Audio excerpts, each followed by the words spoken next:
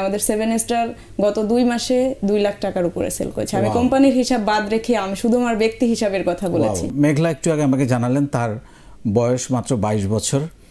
এইসব এর মধ্যেই উনি উদ্যোক্তা হয়ে গেছেন এবং মাত্র অল্প কিছু টাকা দিয়ে সম্ভবত পনেরো হাজার টাকা একটা লোন নিয়েছিলেন উনি সেটা দিয়ে উনি শুরু করেছেন। এখন মাসে প্রায় এক লাখ টাকা উনি সেল করছেন। ওনার জীবনে নানান রকমের উত্থান, পতন, দুঃখ, কষ্টের গল্প আছে। সেখান থেকে উনি কীভাবে ঘুরে দাঁড়িয়ে একজন মেয়ে মানুষ হয়ে এত অল্প বয়সে আজকে উদ্যোক্তা হয়ে মাসে লাখ টাকা সেল করছেন সে গল্প শুনব। মেঘলা তো সেই বাগেরহাট থেকে ছুটে এসেছে তার গল্প বলার জন্যে। আমি মেঘলাকে দিয়ে শুরু করতে চাই। হ্যাঁ মেঘলা কেমন আছেন? জি আলহামদুলিল্লাহ স্যার আপনি ভালো আছেন? আমি ভালো আছি। আপনাদেরকে দেখলে আমি এমনিতে একটু বেশি ভালো থাকি। কারণ আমার যে কষ্ট আমার যে পরিশ্রম তার ফলাফল আমার চোখের সামনে জলজল করছে। সো স্বাভাবিকভাবে আমার একটু বেশি ভালো লাগে।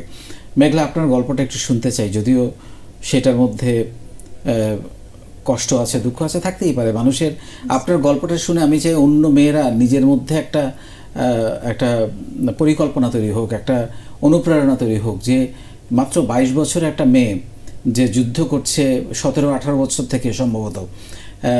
এই এই যে পাঁচ বছর ধরে যুদ্ধ করে যাচ্ছেন আপনি এত অল্প বয়সে এই ম্যাচিউরিটি কোথা থেকে আসলো? শুরু থেকে যদি একটু বলেন আপনি উদ্যোক্তা হওয়ার জন্য কি ছিল এবং আপনার জীবনের গল্পের শুরুটা কেমন ছিল? এবং একই সঙ্গে নিজের বলার মতো একটা গল্প আপনাকে আসলে কি দিয়েছে? জি স্যার প্রথমেই বলব যে আমি ছোটবেলা থেকেই একেবারে গ্রামে বড় হয়েছি। মানে আমার জন্মই হচ্ছে বাগেরহাট জেলার চিতলমারি উপজেলাতে, একেবারেই গ্রাম। তো নিম্ন মধ্যবিত্ত পরিবারে আমার বাবা কৃষক ছিলেন চার ভাই বোনের মধ্যে আমি তৃতীয় ছিলাম। পড়ালেখায় ছোটবেলা থেকে অনেক ভালো ছিলাম। পঞ্চম শ্রেণি পর্যন্ত আমার এক রোল ছিল ক্লাসে। তারপর হাই স্কুলে হাই স্কুলে পড়া, পড়াবে না। আমাদের বংশীয় নিয়ম আমার দাদা ফাইভ পাসের পরে মেয়েদের বিয়ে দিয়ে দেন। তো আমি তখন একটাই কথা বলতাম যে আমি এসএসসি পরীক্ষার পরে বিয়ে করব কানা খোড়া যার সাথেই বিয়ে দিবেন। তো অনেক কষ্ট করে এসএসসি পরীক্ষাটা দেই। তো এসএসসি পরীক্ষার আমি খুব শর্টে বলছি। এসএসসি পরীক্ষার যে যখন আমার প্র্যাকটিক্যাল পরীক্ষা চলে, তখন আমাদের গ্রামের একজন চাচাতো ভাই, উনি হচ্ছে যিনি আমার হাজব্যান্ড ছিলেন, ওনাকে নিয়ে এসেছিলেন আমাকে দেখানোর জন্য। তো সেই সতেরো সালে আমি এসএসসি পরীক্ষা দিই দু সালে আমার জন্ম। তো তখন হচ্ছে একেবারেই পারিবারিকভাবে আমাদের বিয়েটা ঠিক হয়। তো বিভিন্ন টানাপোড়েন তারপরে হচ্ছে আমার ভাসুর বিয়ে করেছিলেন না তো আমার শ্বশুরবাড়ি থেকে সময় চান। এভাবে করে প্রায় একটা বছর কেটে যায় আমাদের মানে বিয়ের পরে আপনি বাবার বাড়িতেই ছিলেন না না বিয়ে তখন ঠিক হয়েছিল। আচ্ছা ঠিক হয়েছিল। তারপরে একটা পর্যায়ে মার্চে বিয়ে ঠিক হয়, নভেম্বরের ছাব্বিশ তারিখে আমাদের বিয়ে হয়। তো তখন আর কি আমার লাইফে সেই প্রথম ছিলেন এবং পারিবারিকভাবেই পশ্চিমকালেও তাকে কখনো দেখি নাই আমি। তো এভাবেই তখন মনে হতো যেন পৃথিবীর সব থেকে ভালো মানুষ তিনি। তাকে যেভাবে আমার সামনে রিপ্রেজেন্ট করতেন। তো আমি কখনো মানে আমার কল্পনাতেও আসেনি তার মধ্যে খারাপ এক বিন্দু কোনো কিছু। তিন আমাদের বাড়ি থেকে প্রায় পঞ্চাশ কিলোমিটার দূরে ফকিরহাট থানায় তাদের বাড়ি। তো তিনি হচ্ছে রানার কোম্পানির ডিলার। এই যে বাইকের এবং পিক আপের শোরুম ছিল। এখন আমি যদিও তার বিষয়ে অবগত নই। তখন হচ্ছে তো এক বছর আমি তো কেটে যায় আমার লেখাপড়া হয় না। আঠারো সালে অনেক বলে কয়ে আমার ছোটোবেলা থেকে ইচ্ছা ছিল যে আমি আইন নিয়ে পড়াশোনা করব। ইন্টার কমপ্লিট করে আইন নিয়ে পড়াশোনা করব। কিন্তু তিনি হচ্ছে ডিপ্লোমা ইঞ্জিনিয়ার ছিলেন তো বললেন বিএসসি করতে পারেননি আর্থিক অনটনের কারণে। তো আমাকে দিয়ে সেই স্বপ্ন পূরণ করতে চেয়েছিলেন। তো দু হাজার আঠারো সালে আমাকে গোপালগঞ্জ বিজ্ঞান ও প্রযুক্তি মহাবিদ্যালয়ে একটি টেকনিক্যাল কলেজে কম্পিউটার ইঞ্জিনিয়ারিংয়ে ভর্তি করে দেন। অনেক দুজনের মধ্যে বোঝাপড়া ছিল। তো ওখানে আমাকে বাসা ভাড়া নিয়ে দেন। বেশ প্রথম সেমিস্টার আমি পরীক্ষা দিই। সেকেন্ড সেমিস্টার পরীক্ষার আগে আমাকে ফকিরহাটে নিয়ে যাওয়া হয়, অর্থাৎ আমার শ্বশুরবাড়িতে। তখন যখন থেকে তার কাছে থাকা শুরু করলাম, তখন থেকে আমি যেন ওই মানুষটাকে আর চিনতে পারছি না। মানে একেবারেই ভিন্ন। মাঝরাতে অন্য মেয়েদের কল আসে। একটা একে একে করে আমি সব কিছু বুঝতে পারি যে আমি যে মানুষটাকে চিনতাম সম্পূর্ণ ফেক সে আমার অনুপস্থিতিতে একাধিক মেয়েদের প্রতি আসক্ত। তো একটা পর্যায়ে আমি অশান্তি হতো। সংসারে, কারণ আমি তাকে প্রচণ্ড রকম ভালোবাসতাম। যে মনে হয় যে অন্ধ ভালোবাসা, এর থেকে পৃথিবীতে বোধ হয় কোনো ভালোবাসা থাকে না, তখন প্রচুর ইমোশন কাজ করতো আমার মধ্যে। তো তারপরে একটা সময় বড় বোন এবং মাকে বললাম বিষয়টা, যেরকম আমার হাজব্যান্ড তো বিভিন্ন মেয়েদের সাথে কথা বলে, তো তারা বললেন যে, আগেকার দিনের মানুষ, বললেন যে বাবু নাও, বাচ্চা নাও, ঠিক হয়ে যাবে। এই বয়সে ছেলেরা একটু থাকে এরকম। তো আমি মনে করলাম যে ঠিক হয়ে যাবে। তো আমি কনসিভ করলাম। তখন দু হাজার উনিশের মার্চে আমি কনসিভ করলাম। তো সেদিন থেকে সে, যেদিন কনসিভ করেছি, সেদিনের যে ব্যবহারটা ছিল, সে আমাকে যেদিন বলেছি যে আমি কনসিভ করেছি, সেদিন সে বলেছিল যে, আমার সামনে থেকে চলে যাও। না হলে তুমিও বাঁচবে না, তোমার পেটে সন্তানও বাঁচবে না। আমি মনে করেছিলাম যে, না, আমি কোনো কিছুর বিনিময়ে আমার বাচ্চাটাকে মেরে ফেলব না। কারণ এটা বোধ হয় পৃথিবীর সব থেকে বড় পাপ হবে। কিন্তু আমি জানি না সেদিন এই কাজটা করা ঠিক হতো কি না আমি সেদিন থেকে আমার বাচ্চাটার জীবনে যুদ্ধ। আজ আজকের এই মুহূর্ত পর্যন্ত আমার বাচ্চার জীবনে যুদ্ধ। আমি পুরো নয় মাস অসুস্থ ছিলাম, সে নয় মাসই আমি শুনেছি, আমি দেখেছি। দশ লাখ টাকা দিয়ে প্রাইভেট কার কিনেছিল, ছয় লাখ টাকা দিয়ে বাইক কিনেছিল। আমার ঘর সাজিয়েছিল দুইটা রুম তা মনে হয় প্রায় চার, পাঁচ লাখ টাকার ফার্নিচার ডাবল ডোরের ফ্রিজ ওয়াশিং মেশিন সব কিছু দিয়ে উল্লাসে মেতেছিল। আমাকে মাসে মাসে পাঁচ হাজার টাকা পাঠাতো। আমি খুলনাতে বাসা নিয়ে থাকতাম। তো একটা পর্যায়ে নয় মাস পরে যখন আমি একদিন আমার পেইন হলো তারপর ডাক্তারের কাছে নিল, বলছে ফলস পেইন বাচ্চার ওজন দুই কেজি দুইশো গ্রাম। কোনোভাবেই সিজার করা সম্ভব না। তখন সেই দিনও আমার সাথে বেইমানি করল। সব কিছু কনফার্ম করে আমাকে বলছে যে সিজার করে নাও। সেদিন আমাকে ডাক্তার বললেন যে, তোমার বাচ্চার লাইফ রিস্ক আছে। আমি সেদিন সিন ক্রিয়েট করেছিলাম যে, আমি মরে যাব, কিন্তু আমার বাচ্চাকে কোনো কিছুর বিনিময়ে মারতে পারব না। তারপরে কাজ হয়নি। সেদিন তার জেদের কাছে হার মানতে হয়েছিল, আমাকে সিজার করতে হয়েছিল। যতক্ষণ সিজারের কাজকর্ম, যা কিছু চলছিল, আমি সব কিছু বুঝতে পারছিলাম আর শুধু কান্নাকাটি করতেছিলাম এবং আল্লাহর কাছে বলতেছিলাম যে, আল্লাহ, আমি তো কোনো পাপ করিনি। আমার সুখের জন্যই আমি আমার বাচ্চাকে পৃথিবীতে আনতে চেয়েছি। তাহলে ওকে কেন মেরে ফেলবে? আমাকে মেরে ফেলো। তখন আল্লাহ রহম করেছিলেন দুই কেজি দুশো দুই কেজি পাঁচশো গ্রাম হয়েছিল, আড়াই কেজি ওজন হয়েছিল এবং সুস্থ ছিল, আমিও সুস্থ ছিলাম। তারপর থেকে আমাকে আমাদের বাসায় নিয়ে যায়। মোটামুটি ঠিক ছিল। বাচ্চার ছাব্বিশ দিন বয়সের সময় সে যশোর ঝিনাইদাহে একটি মেয়ের সাথে বেশি আসক্ত হয়ে পড়ে। তো ছাব্বিশ দিন বয়সের সময় সে চলে যায় মেয়েটার সাথে দেখা করতে। তারপর থেকে আবার অশান্তি। এভাবে তারপর উনিশ সালে প্যান্ডামিক সিচুয়েশন শুরু হয়, বিশ সালে বোধ হয় বিশ সালে। উনিশে ডিসেম্বরের এক তারিখে হয় বাবু। বিশ সালে তারপর করোনা পরিস্থিতি শুরু হয়। তারপর থেকে চার মাস বয়সের সময় পর থেকে বাবুর দুধ কেনা লাগতো, বাড়তি। তখন থেকে মানে অশান্তি দেখতাম। দৈনিক সে দুই প্যাকেট ব্যঞ্জন খেত, কিন্তু বাবুর দুধ কিনতে কষ্ট হয়ে যেত তার। ছাব্বিশ দিন বয়সের সময় মেয়েটার সাথে দেখা করতে যাওয়ার পর থেকে আমাদের মধ্যে অশান্তি শুরু হয়। তারপর এভাবে করতে করতে তার ফ্যামিলিকে আমি জানাতাম। তারা সবসময় তাদের ছেলেদের সাপোর্ট ছেলের সাপোর্ট করতেন। কখনো আমাকে বুঝতে চাইতেন না। আমি শুধু আমার জীবনের সব কিছুর বিনিময়ে আমি সম্পর্কটা বাঁচিয়ে রাখতে চেয়েছিলাম। আর কিচ্ছু চাইনি আমি। আমি ভেবেছিলাম যে এই মানুষটার সাথে সারাটা জীবন পার করা সম্ভব নয়। কিন্তু ভেবেছিলাম বাচ্চাটা বাবা শব্দের অর্থ বুঝুক। শুধু এতটুকু বুঝুক যে বাবা কাকে বলে। সাত মাস বয়সের সময় বাবা ডাকতে পারতো না। কিন্তু প্রচুর বাবা পাগল ছিল। কোনোভাবেই হলো না। একদিন রাতে মেয়েটাকে নিয়ে গ্যাঞ্জাম হলো। তখন রাত আড়াইটা বাজে, সে আমার বাবাকে ফোন দিয়ে বলছে, কালকে আপনার মেয়েকে নিয়ে যাবেন। তো বাবাকে আসা, আসতে বলা হলো। আমি আবার ওই মুহূর্তে বাবাকে ফোন দিয়ে বললাম যে, এত রাতে কিছু হয় নাই? আসার দরকার নাই। আমার ফোনটা নিয়ে ভেঙে ফেললেন।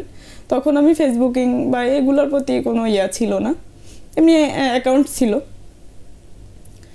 তারপরে হলো কি, আমার বাবা আসলেন তার পরের দিন। ভালোভাবে বুঝিয়ে টুঝিয়ে এমনি পাঠিয়ে দিলেন আমাদের বাড়িতে।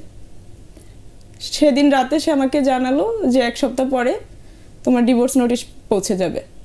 আমি তোমার সাথে থাকব না। সে অন্যায় কাজ করতো, আমি সেগুলোকে সাপোর্ট করতাম না। নেশা জাতীয় খাবার খেতে, সেগুলোকে পছন্দ করতাম না। মেয়েদের সাথে কথা বলতো, এগুলোকে পছন্দ করতাম না। এজন্যই সে আমার সাথে থাকতে চায় না।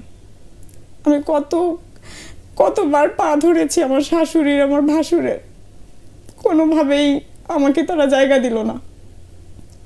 এক সপ্তাহ পরে যখন ডিভোর্স নোটিশ পৌঁছালো, আমাকে সবাই সাজেস্ট করল মামলা করার জন্য।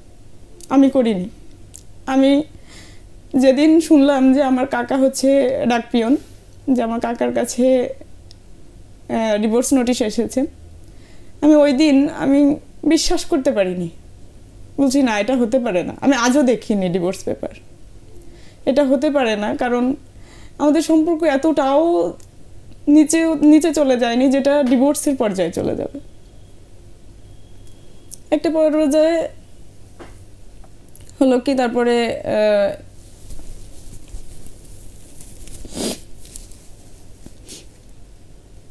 তারপরে আমি কিছুই করিনি।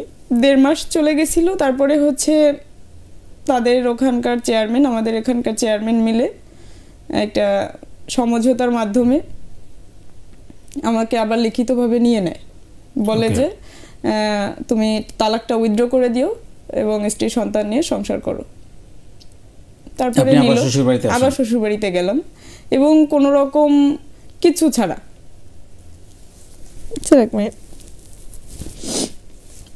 হুম। তারপর নব্বই দিন পার হওয়ার পরে আবার একটা ঝগড়া ইস্যু করে আমাকে বের করে দিল। বলল যে তোমার আর এই বাড়িতে কোনো অধিকার নাই। বলছি কি কারণ? বলে যে তুমি আমার তালাকপ্রাপ্ত স্ত্রী। অর্থাৎ নব্বই দিন পার হয়ে গেছে, সে তালাক উইথড্র করেনি। তারপর, এরপরে এক মাস হয়ে গেছে, আর নিতে আসে না। তারপর একদিন জানতে পারলাম, আমি যে ফ্ল্যাটে থাকতাম, পাশের একজন ফোন দিয়ে বলতেছেন যে, আপনার হাজব্যান্ড ধরা পড়ছে। পুলিশ সাংবাদিকের কাছে। আমি কি, কী কারণ? বলছে, একটা মেয়ে নিয়ে এখানে ফ্ল্যাটে ছিল, অবৈধ অবস্থা। পরে আমি যাই, ফকিরহাট থানায় তাকে অ্যারেস্ট করে। আমাকে সব কিছু বলে, ওসি সাহেব। আমি বলি যে, আমি সংসার করতে চাই। তিন দিন তাকে রাখার পরে কোর্টে চালান করে দেয়। বলে যে, এই মামলা আমি মেটাতে পারব না। কোর্টে যেদিন সে চালান করে দিয়েছে, তার পরদিন বে- সেই দিন বিকালে বের হয়ে আসছে। দুপুরে গেছে, বিকালে বের হয়ে আসছে। জরিমানা দিয়ে টু নাইনটি মামলা হয়েছিল। এরপরে আমি নয় তারিখ নভেম্বরের নয় তারিখ, বিশ সালের নভেম্বরের নয় তারিখ সে ওখানে ইয়ে হয়। আমি তারপরে চোদ্দ তারিখে বোধ আমি তারপর কি করব? তারপরেও আমি সম্পর্কটা বাঁচিয়ে রাখার জন্য একটি মামলা করেছিলাম।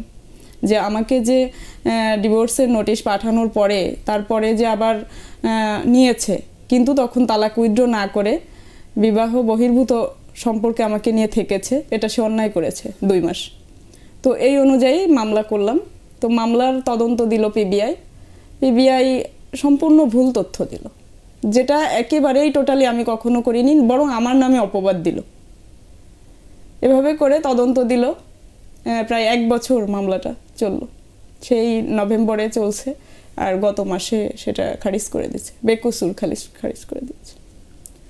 আমি কয়েকবার জজকে মুভ করলাম সামনে জজের তার মানে সামনে। আপনারা কি এখন সেপারেটেড টোটালি টোটালি আপনি এই যে মামলা করলেন তখন কি ওনার বাসায় না আপনার নিজের না আমি মামলা করেছি তখন তো ওই যে যে সে অন্য মেয়ের সাথে টু নাইনটি মামলায় ধরা পড়ল ওর পর ওর আগেই তো আমাকে বের করে দিয়েছে। আপনি চলে আসছেন। হ্যাঁ আমাকে বের করে বের করে আমি একটা মুহূর্তের জন্য স্যার চলে আসিনি। আমি আমার বাবাকে ফোন দিয়ে বলেছি যে আমি মরে যাব আমার শ্বশুরের ভিটা আমাকে কবর দিয়ে রাখবে।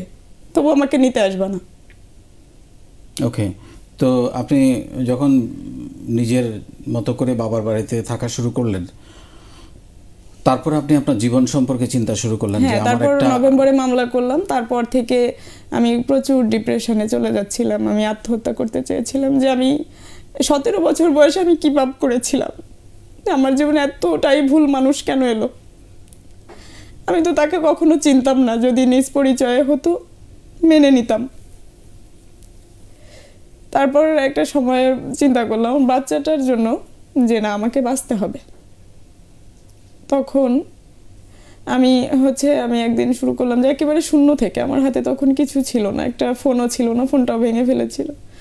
তখন আমি ভাবলাম যে আমাকে কিছু করতে হবে। বাবা মা অনেক গরিব। একটা ভাই অটো ভ্যান চালায়, বড় ভাই। তো সংসার টেনে উঠতে পারে না। তারও বাচ্চা আছে, বউ আছে।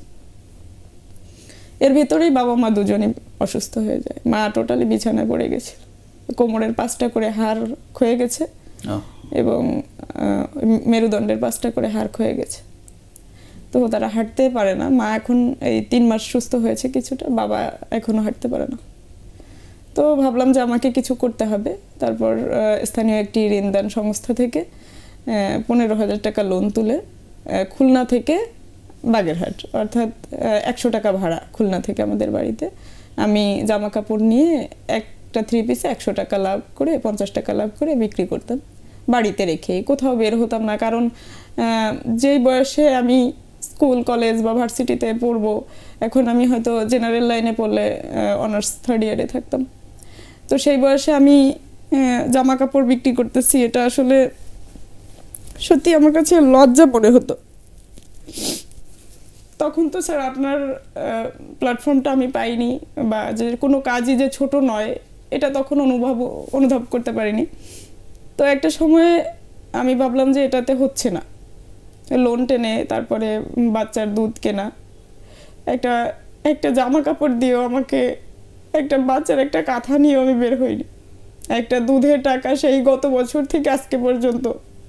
তার কত অসুস্থতা, কত কিছু গিয়েছে, কখনো একটা বারের জন্য খোঁজও নেয়নি তার রক্তের সন্তানকে। জন্মদাতা পিতা সে।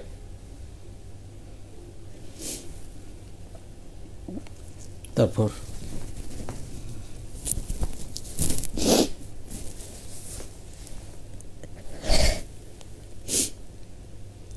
তারপর আমি একদিন ভাবলাম যে আমাকে আরও কিছু করতে হবে। তখন একদিন আমি অনলাইনে তখন উই প্ল্যাটফর্মে আমি একদিন দেখি যে একটা আপু হচ্ছে মোরিঙ্গা পাউডার আমি হচ্ছে সজনে পাতা, আমাদের গ্রামে সজনে পাতা বলে। ওটা সুপার ফুড ওটা প্রচুর উপকারী। তিনশো রোগের প্রতিরোধক। মানে একটা না খেলে পনেরো দিন ডায়াবেটিস কন্ট্রোলে চলে আসে। ত্বকের জন্য চুলের জন্য অনেক উপকারী। তো আমি ভাবলাম তাহলে আমি কি এটা নিয়ে কাজ করতে পারি? আমাদের তখন ছোটবেলায় বিদেশিরা ফরেনাররা আসতো। তো লম্বা লম্বা ছিল কোন দেশের ছিল আমার মনে নাই। ওনারা হচ্ছে সজনে পাতা ভেঙে নিয়েছিল। এবং আমাদের বলেছিল আমরা বলেছিলাম এটা দিয়ে কি করবেন পাতা? তো তাদের সাথে যে বাঙালি ছিলেন উনি তখন ছোটবেলায় আমরা বিদেশিরা আসলে আমরা তাদের পাশ পাশ দৌড়াতাম। তখন বলেছিল যে এটা অনেক উপকারী। এটা এইভাবে গুঁড়া করে রেখে দিলে এক বছর পর্যন্ত থাকে ভালো থাকে। তো আমি ওটা নিয়ে গুঁড়া করে অনলাইনে পোস্ট করতে শুরু করলাম। আমার আইডিতে একটা পেজ আছে আমার সুলতানাস ড্রিম নামে। তো আমি দেখি যে অনেকে সাড়া পাচ্ছি। তারপর একটা সময় ফোন চাপতে চাপতে দেখি যে আমি যে কলেজে পড়তাম গোপালগঞ্জে তো ওইখানকার একজন প্রফেসর, নুরুজ্জামান স্যার, আমাকে এই নিজের বলার মতো একটি গল্প ফাউন্ডেশন থেকে ইনভাইট দিয়েছেন। আমি ঢুকলাম ভিতরে অ্যাকসেপ্ট করে যে কি এটা? কিন্তু আমি বুঝতাম না তখন। মানে কেমন যেন সবার পোস্ট দেখে কিছু বুঝতাম না। তখন তো আপনার আইডিটাও চিনতাম না। একটা সময়ে তারপরে রেজিস্ট্রেশন করতে যে কয়েকবার আমি ব্যর্থ হয়েছি, পারিনি। কি প্ল্যাটফর্ম আমি একবার একটা পোস্ট করেছি ডিক্লাইন করেছে।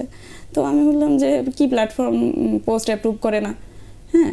তখন আমি তো মনে বুঝতাম না যে এটা সিকিউর তারপর একটা সময় তেরোতম ব্যাচে আমি রেজিস্ট্রেশন করি। রেজিস্ট্রেশন করার পর থেকে তারপরে আমি খুব একটা অ্যাক্টিভ ছিলাম না। আমি গ্রুপে অ্যাক্টিভ মাত্র পাঁচ মাস। তো আমি ভাবলাম যে একদিন তারপর রেজিস্ট্রেশন করে আমি বাগেরহাট টিম টাইগার্স বাগেরহাটের সাথে আমার আলাপ হলো।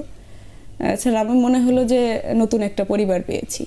মানে প্ল্যাটফর্মকে তখন আমি চিনতাম না বাগেরহাট টিম টাইগার্স দেবাশিস দেপ্রীতম আহ, শেখ আলামিন ভাই। ওনাদের যে উৎসাহ অনুপ্রেরণা আমার মনে হলো যেন সব কিছু এখানে সহজ একেবারে হাতের মুঠোয়। স্যার মানবিক সংস্থা থেকে সব কিছু আছে তো আমাকে একদিন আমি অসুস্থ হলাম। টিম টাইগার্সের আলামিন ভাই চলে গেলেন আমার বাসায়। গিয়ে আমাকে নিয়ে লাইভ করলেন। মানে আমার ব্র্যান্ডিং ওই শুরু। তারপরে স্যার আমি দেখলাম যে প্ল্যাটফর্মে অনেকে বিজনেস করে। তখন থেকে আমি প্ল্যাটফর্মে আমার সর্বপ্রথম মরিঙ্গা পাউডার নিয়ে পোস্ট করা শুরু করলাম। এখানে একটু থামাই আপনার বাকি গল্পটা আবার শুনব। আমি যতদূর জানি আপনি এখন লাখ টাকা সেল করেন।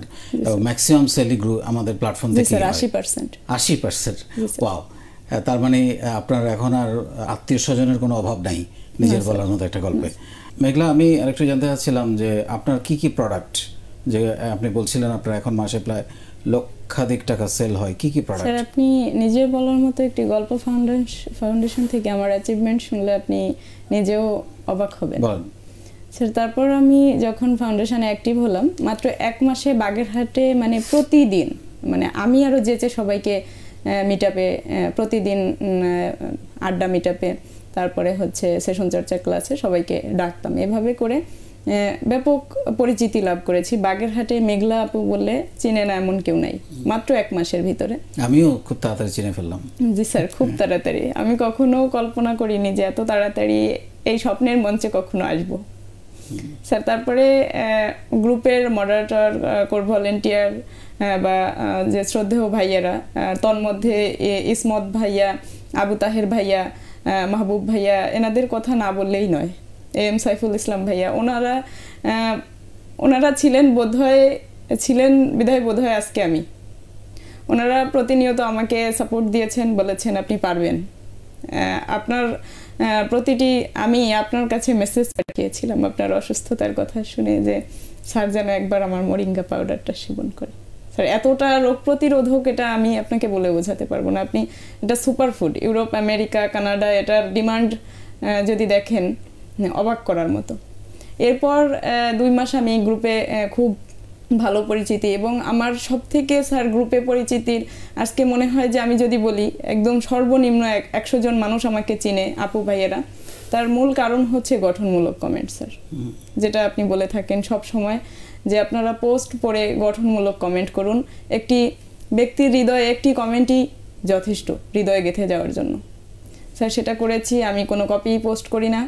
আমি শুধু গ্রুপ বিষয়ক দুই একটা পোস্ট ছাড়া আমি সম্পূর্ণ সহজ ভাষায় আমি লিখি স্যার শুধুমাত্র পণ্যের ডিটেলস যেহেতু আমরা কালেক্ট করি বিভিন্ন জায়গা থেকে, পণ্যের গুণগত মানের ব্যাপারে, এগুলো ছাড়া স্যার আমি আমের সিজনে নাটোরের সেদিন আপনি তার গল্প শুনেছি- শুনেছিলেন শাহাবুদ্দিন ভাইয়ার। আমি তার থেকে সাতশো কেজি আম প্রথম বছর রিসেলার হিসেবে সেল করেছি। আগামী বছর অবশ্যই করব। এখনও আমার কাছে আম চায় লোকে আমাদের প্ল্যাটফর্ম থেকে। তারপরে হচ্ছে সাতশো কেজি আম টোটালি আমার নিজের বলার মতো গল্প ফাউন্ডেশন সেল করেছি স্যার। স্যার তারপরে আমি শুরু করি ইনা ইসলাম বৃষ্টি আপুর সাহায্যে। আমি হচ্ছে সৌদি আরবে তিনজন ভাইয়ের সাথে কাজ করছি। বাংলাদেশের গার্মেন্টস আইটেম পাঠাচ্ছি লুঙ্গি গামছা সিরাজগঞ্জের থেকে। মানে বিদেশেও আপনি রপ্তানি করছেন? স্যার এই মাত্র ছয় মাসের ভিতরে আমি প্ল্যাটফর্ম থেকে কি কি আমার অর্জন হয়েছে আমি সেটাই শুধু আজকে বলব। স্যার আমি একটি গ্রুপ অফ কোম্পানির অংশীদার গর্বিত অংশীদার। মাশাল্লাহ স্যার কীভাবে আমি বলছি বাগেরহাটের আমাদের যে বন্ডিং টিম টাইগার্সের আমি একদিন কল্পনা করলাম যে আসলে আমরা এত সুন্দর একটি বন্ডিং এই প্রিয় প্ল্যাটফর্মের মাধ্যমে, তাহলে আমরা কেন একত্রিতভাবে কিছু করছি না? স্যার, আমি একদিন পলাশ সাদিয়াল নামে, সেই দ্বিতীয় ব্যাচ থেকে আছেন পলাশ সাদিয়াল ভাইয়া বাগেরহাটের, ওনার সাথে শেয়ার করলাম, উনি তখন কিছু করছেন না প্যান্ডামিকের কারণে। তখন আমি বললাম যে ভাই আমরা কেন যৌথভাবে কিছু একটা করতে পারি না? স্যার, এই বাইশ বছর আপনার সন্তান সমতুল্য মেঘলার ডাকে সাড়া দিয়ে সাতজন আপু ভাই আমরা এক ছাতার নিচে আসতে পেরেছি। স্যার এতটাই সুন্দর বন্ডিং একজন যেটা বলবেন সবাই সেটা মাথা পেতে এই মানুষগুলোকে তো আপনি আগে চিনতেন না। না স্যার। এই বাগেরহাটের মাধ্যমে একজন দক্ষিণ কোরিয়াতে অবস্থান করেন মিজান রহমান ভাইয়া গাজীপুরে নারায়ণগঞ্জে চট্টগ্রামে মোংলায় এবং শরণখোলা এবং আমি চিতলমারিতে এখনও চিতলমারিতে অবস্থান করি। তো শুধুমাত্র আপনার এই কি বলব এই নেটওয়ার্কের কারণে আমরা আজকে একত্রিত। প্রতিদিন মিটিং হয় আমাদের। আমরা Bagerhat seven star super shop নামে একটি সব করতে পেরেছি। ভবিষ্যতে আরও কয়েকটি আমাদের অ্যাগ্রো ফার্ম হয়েছে ভবিষ্যতের কথা বলছি আপনার এখন স্বপ্ন কি? আপনি তো ওই কি বলে একটা মানে আকাশে ওড়ার জন্যে জি স্যার। মানে টেক অফ করে ফেলেছেন আমি যেটা দেখতে পাচ্ছি। এবং আপনার অনেক আপনি পরিবারের অনেক মানুষকে আপনি পেয়ে গেছেন। আপনার অনেক দুঃখ কষ্ট আপনার এখন আর স্পর্শ করে না আপনাকে কারণ আচ্ছা এত তারপরে মানুষ। একটা পয়েন্ট হচ্ছে আমি দক্ষিণ দক্ষিণ কোরিয়া থেকে সরাসরি শীতের কম্বল লেপ বেড হিটার এগুলা পাঠাচ্ছেন ওগুলা সেল করতেছি এবং আমি গ্রুপে নিয়মিত লাইভ করি স্যার। সপ্তাহে দুই দিন লাইভ করি আমি গ্রুপে তারপরে হচ্ছে এভাবেই সেল করতেছি স্যার। সেলের হিসাব আমি হয়তো ওভাবে সত্যিকার অর্থে ওইভাবে আমি নোট করে হয়তো বোঝাতে পারব না। তবে আশি পার্সেন্ট সেল বললেও ভুল হবে হয়তো নব্বই পার্সেন্ট সেলই আমার ফাউন্ডেশন থেকে স্টিল ছয় মাসে। স্যার আমি আমাদের সেভেন স্টার গত দুই মাসে দুই লাখ টাকার উপরে সেল করেছি। আমি কোম্পানির হিসাব বাদ রেখে আমি শুধু আমার ব্যক্তি হিসাবের কথা বলেছি. আপনার স্বপ্ন কি আগামী দিনের? স্যার আমার স্বপ্ন বাগেরহাট সেভেন স্টার সুপার শপের সারা বাংলাদেশের চৌষট্টি জেলায় চৌষট্টিটা শোরুম করব। ইনশাল্লাহ চট্টগ্রামে একটি আউটলেট হয়েছে গাজীপুরে একটা কথা চলছে। বাগেরহাটে খুব শীঘ্রই করে ফেলব, ইনশাল্লাহ আপনার দোয়া ভালোবাসায়। আর স্যার আমি আমার মরিঙ্গাকে ব্র্যান্ড করব। যেটার জন্য আজকে আমি মরিঙ্গা আপু অনলাইনে স্যার, এভাবেই চলছে এবং গত চার মাস আগে সব থেকে বেদনাদায়ক ঘটনা এটি। আমার ভাই চান যে আমার বাচ্চাকে তার বাবার কাছে দিয়ে দিই। আমি আবার নতুন করে শুরু করি, আমি কেন মেয়ে মানুষ এগুলো করব। তো আমি আমার বাচ্চার অবমাননা মানতে পারব না। আমি চলে যাই বাড়ি থেকে। বাড়ি থেকে চার কিলোমিটার দূরে বাসা নিয়ে আমি থাকি সেখানে। একাই একজন হাজি আঙ্কেলের বাসায়। আমার মেয়ে নিয়ে একাই এক হাতে আমি, আমার মেয়ে ধরা থাকে, অন্য হাতে আমি বুকিং কুরিয়ারে বুকিং লিখি। স্যার, আমি রোদে পুড়ে এই নিম পাতা, তারপরে মরিঙ্গা পাউডার নারকেল, নারকেলের তেল তৈরি করি। সব কিছু আমি একা করি। যখন কাজ করি দিনের বেলা আমার মার কাছে রেখে আমি সারাদিন কাজ করে সন্ধ্যাবেলা বাবুকে নিয়ে ঘরে ফিরি। অসাধারণ। এভাবে অসাধারণ অসাধারণ গল্প আপনার আমি নিজে ইন্সপায়ার্ড এবং আমার ধারণা আমাদের প্ল্যাটফর্মে অনেকেই আপনার গল্প শুনে স্যার আমি যখন রান্না করি তখন আমি ইউটিউবে লাইভের তিন বছর আগে আপনার করা ভিডিও আমি দেখতে থাকি। আমি শুধুই আয়মান সাদিক মুঞ্জারিন আপু আর জে কিবরিয়া আপনার, আপনি বলেন যে বিখ্যাত যারা অনুপ্রেরণা দিতে পারে, যারা উঠে দাঁড়িয়েছে, তাদের গল্প শুনুন আপনারা। আপনার প্রতিটি কথা, আপনি বলেছেন যে আপনার যে উদ্দেশ্য, যে এই পৃথিবীতে কে বলেছে যে বাংলাদেশে ভালো মানুষের ভাত নাই। সৎ থেকে, নিজের দায়িত্বে, অটুট থেকেও যে ভালো থাকা যায়, সেই চেষ্টাই আপনি করছেন। এবং আমি ওইটাই চিন্তা করেছি যে হ্যাঁ আমি, আমার ভালো থাকাটাকে আমি প্রায়োরিটি দিব না। আমি আমার সুখের জন্য আমার বাচ্চাকে জন্ম দিয়েছিলাম। আমি আমার দায়িত্বে সব সময় অটুট থাকব। আমার বাচ্চাকে একটা দিনের জন্য আমি অবশ্যই এবং আপনার সমস্ত স্বপ্ন পূরণ আপনার মেয়েকে দিয়ে মেয়েকে দিয়ে আপনি করবেন। অনেক ধন্যবাদ।